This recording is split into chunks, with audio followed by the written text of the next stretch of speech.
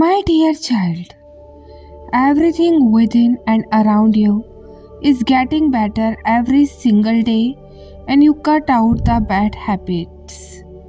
You surrounded yourself with better people, you choose inner healing, and now everything externally is a mirror to this upgraded inner reality.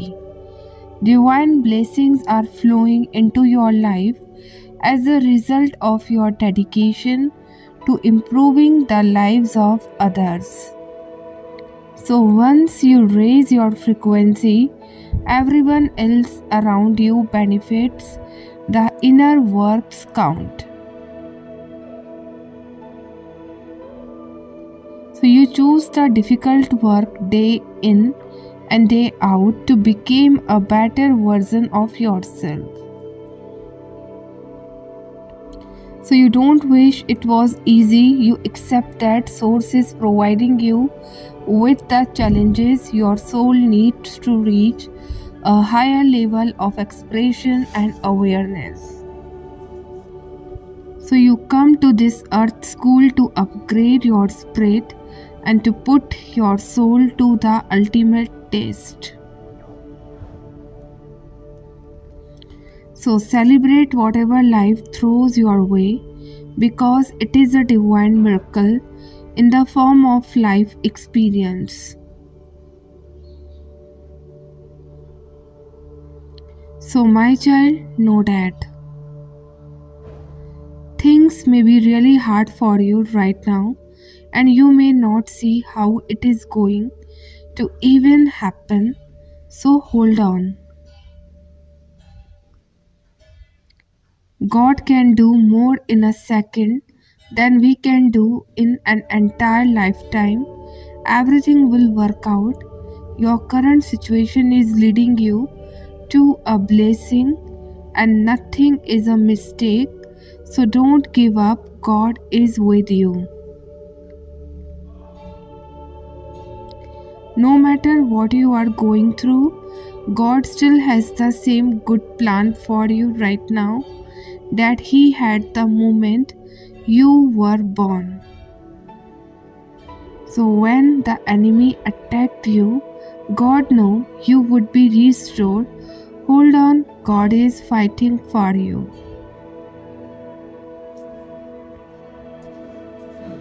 So you are God's masterpiece. You are created by God for a specific amazing purpose. So He loves you more than you imagine, and you may not always feel that way. There will be times when hard days or painful memories cause you to question your worth. But when your heart is full of God's word, the truth about who you are in Him will become so real that you will be able to override those doubts. So, God will transform your entire outlook on life. Joy will come pouring in, and your peace will become unshakable. Your relationships will grow healthier, and I am believing that as you dive into what He says about who He created you to be, you will begin to see breakthrough in every area of your life.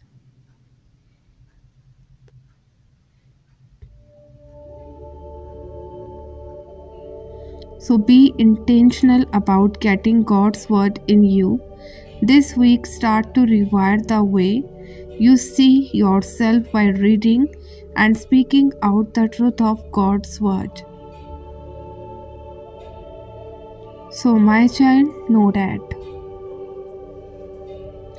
As you get older, you realize that you are not always right, and there are so many things you could have handled better.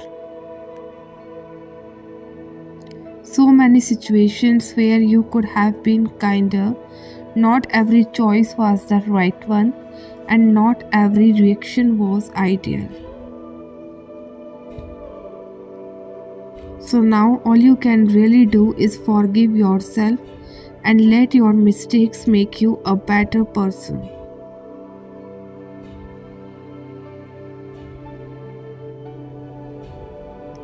So, this is personal evolution. Release the weight of self judgment and allow the warmth of self compassion to blossom. Trust in the divine order and believe that what is meant for you, you will find its a way to you. Instead of worrying about how, just relax and be in a deserving state to receive. Start matching the frequency of the vibration you want to attract. Believe that it is already yours. Start owning and being the energy of what you want to receive.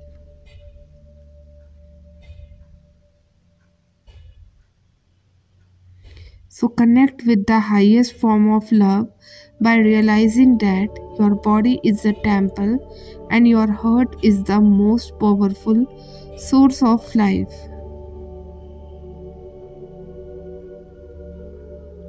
Nothing is accomplished or impossible when you love and are fully supported in your beingness. Unlearn the separation. The suppression and the taboo that has been conditioned in you to disconnect you from love and turn you into a slave of the matrix.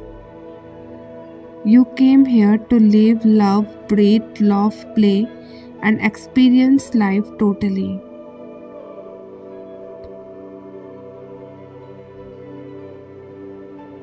So, my child, know that the person you are dealing with seems to have a lot of responsibilities on their shoulder.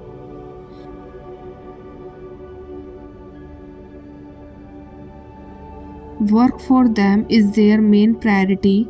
They have been struggling to accomplish basic goal and they seem to be someone who is a workaholic, dedicated and focused on their work.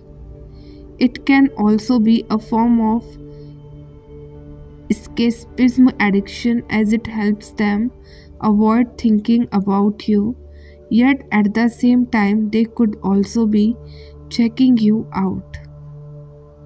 And if you guys are already in communication, they want to explore this connection further with you and they love to talk and get to know you more.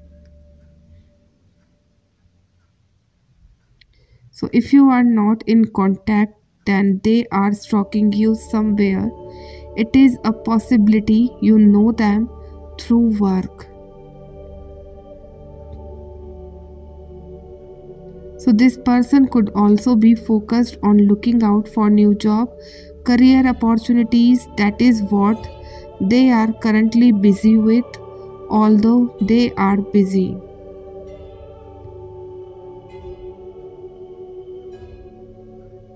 But they realize they have not felt such deep connection with anybody before like how they feel for you.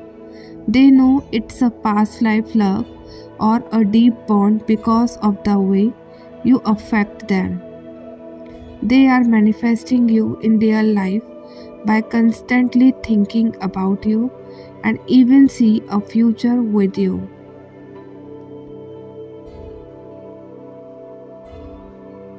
So, my child, know that. I hope you go all in on yourself. I hope you listen to that quiet voice within to the soft nudges, to the whisper of your intuition, to that thing deep inside you that just knows. I hope you trust your inner knowing and honor what feels right, even when it scares you and when the voice of fear asks. But what if it does not work out? I hope you listen to the voice of belief that responds, but what if it does? I hope a whisper of courage rises like a phoenix from the ashes of everything that could have broken you but did not, that it reminds you that actually your spirit is irrepressible, that actually you are brave and capable and so incredibly strong that actually everything you need to follow your heart lead path already exists within you. And I hope you say yes to your dreams and vision. I hope you treat them like they are the most real, most honest, and trust things that exist.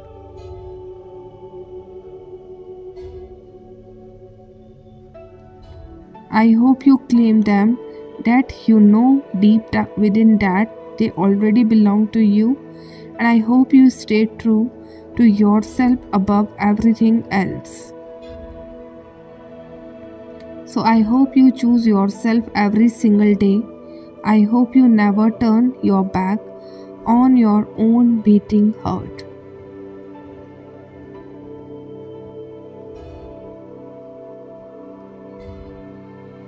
Our lives are not determined by what happens to us, but by how we react to what happened, not by what life brings to us, but by the attitude we bring to life.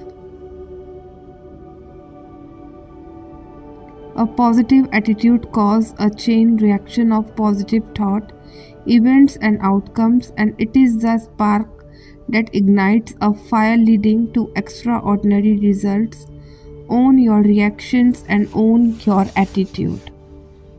So you can be with someone every day and still not know who they really are until you are put in a situation where hard decision has to be made. So time does not define where you stand in a person's life. Circumstances do. It is during the rawest time of your life that you will get to see the true colors of people. So, my child, know that. I know people sometimes say goodbye before they barely even say hello, and I know that you get disappointed in people you thought would never let you down. I know you question why bad things happen to good people and why we get heartbroken by someone we only wanted to love. So, why we feel that our kindness is locking us up when the wit are running free.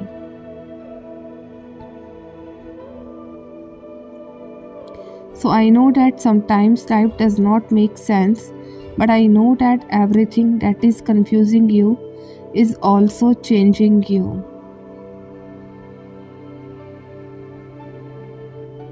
So, everything that is hurting you is also healing you, and everything that is burdening you is also teaching you how to carry yourself. So, I like to think that for every bad things that happen, something good will find its way to you because life is not meant to add up. It is not meant to have a final answer and it is not meant to be all figured out. Life is not meant to go one way or the other. It is not meant to be black or white. It will always confuse us and take us by surprise. It will always ambush us with situations we are not prepared for.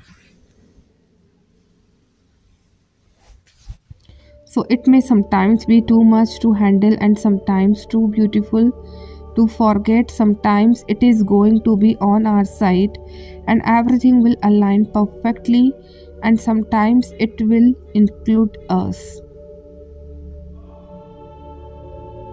So it will fool us, it will play the raw tricks on us. But I like to think that we also know how to adopt, we know how to change, grow, and evolve so we can keep up with life. We know how to fall down, then stand back up. We know how to fail, then start over.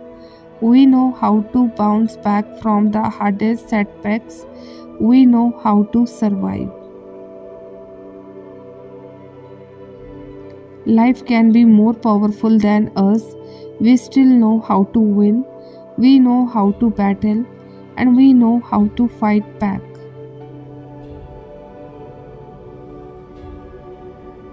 So maybe we just need to slow down, stop running, stop chasing, stop trying too hard, and stop choosing to suffer because of what others put us through or what life did to us.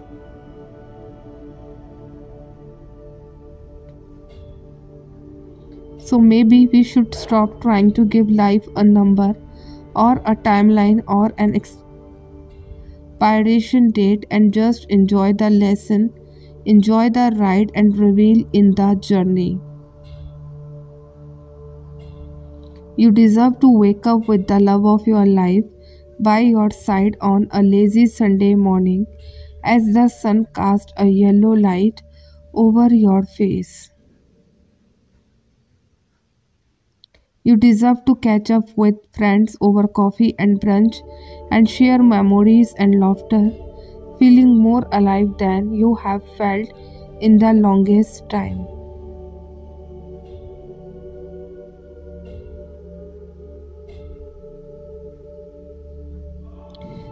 So you deserve to plop a kiss on your mom's forehead and cuddle your dad on his soft, fluffy sweater sweeps against your cheek and you deserve adventures and days out.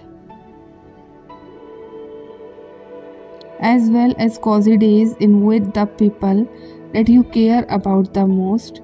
You deserve to tell the people you love that you love them, and you deserve to tell them when you need space too. You deserve to spend time alone, even if it means doing nothing other than watching TV or listening to the radio, as you have some me time. You deserve a warm long bath and you deserve a cold wintry walk through the park. Because, my love, you deserve everything that you told yourself and you did not deserve, and so, so much more.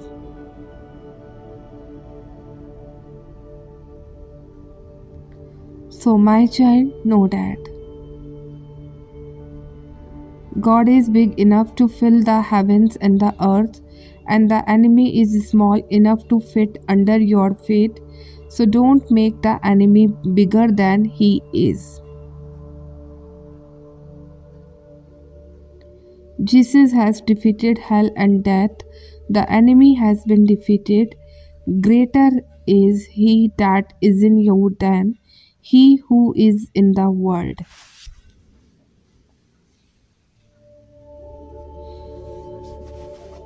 So, even though the weapon has been fought against you and it will not prosper, determine to give the enemy no ground. Make what Jesus did for you bigger than what they did to you. So you are more than and conquer in Christ Jesus. Fear not, for your God is with you and fighting for you.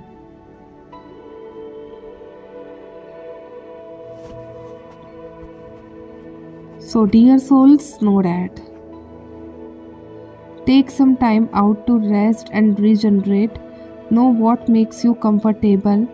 Keep the home fires burning create a peaceful and beautiful home life.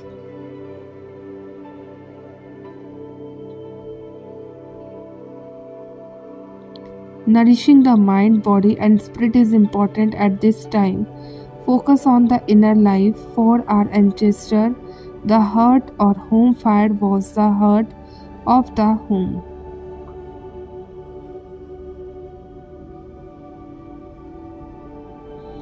A fire always burned there ready for warmth or cooking. The hearth fire was stocked carefully and rarely allowed to go out, as it was a source of comfort for all and often a place where family and friends would meet.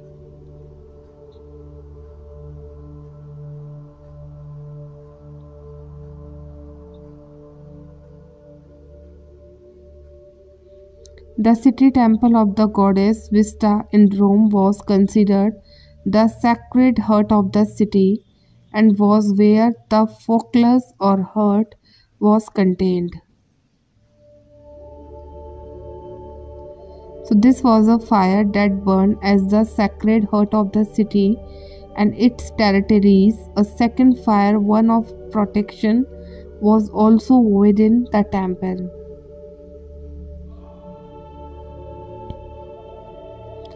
So Vesta temples was one of the only place of worship to be circular in design and was completely covered to protect the holy flame from being snuffed out by the weather. So the saying keep the home fire burning was inspired by this practice in Rome husbands were often sent away on military duty for years on end however their wives were expected to not just keep the home and often the business running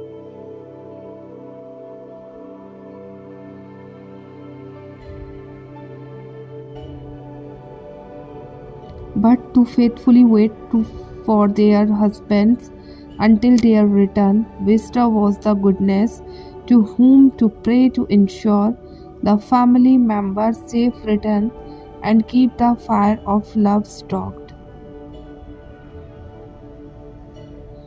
So, in these busy times, it is important to focus on a place where you can feel safe and comfortable. While many of us don't have a literal heart, the home, whatever that is, should be a place created to inspire peace and nourishment. Type yes if you have faith and trust in God, and if you want your all wishes come true, type Amen.